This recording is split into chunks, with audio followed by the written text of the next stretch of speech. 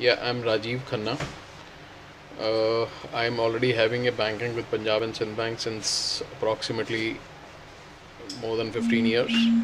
I recently got uh, a, home, a car loan, vehicle loan, for which uh, which I got it from Sector 62 Zonal Office branch.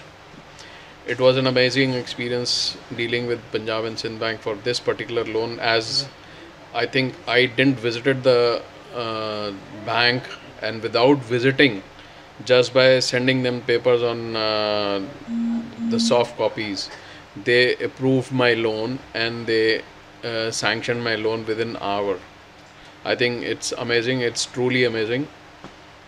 I don't think so. It can be faster than this. I'm really thankful to Punjab and Sind Bank. Thanks.